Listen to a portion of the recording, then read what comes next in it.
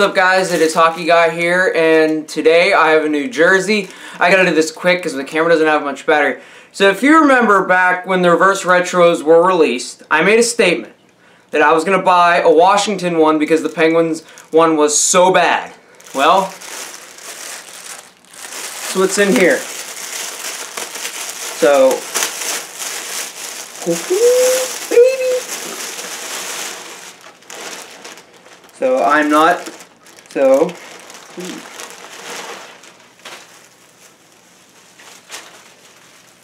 so you can, so guess what? I was a man of my word, and I got an Ovechkin, an Ovechkin jersey. Yes, this is is an Ovechkin jersey.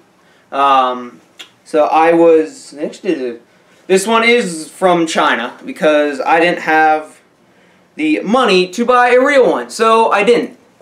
Um, but yeah, you know, I'm going to put this on right now over my Penguin jersey. The Penguins do play tonight. But, there you go. You're seeing me in a Washington Capitals jersey. This is this is real. You can see you got Ovechkin. So yeah, that's how bad the Penguins reverse retro jerseys are.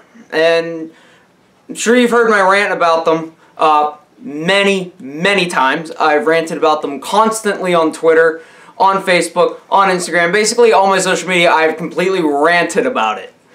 Um, but yeah, guys, that is going to do it. Again, the camera is actually, uh, only has a not much battery left. Uh, so, um, like and subscribe. This was real quick. Um, but yeah, if you liked it, click like. If you, if you can click subscribe, that really helps my channel out. And I catch you guys later.